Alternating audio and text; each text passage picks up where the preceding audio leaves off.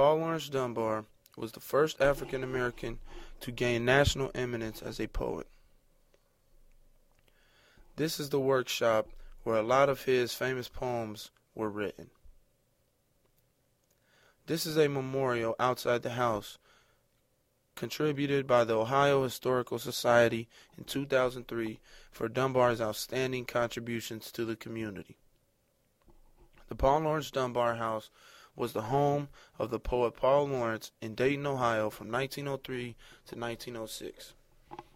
This is a historic house museum owned by the state of Ohio and operated by Dayton History on behalf of the Ohio Historical Society. It is located at 219 North Summit Street in Dayton, Ohio. This house was declared a National Historic Landmark in 1962 and became part of Dayton Aviation Heritage National Historical Park in 1992.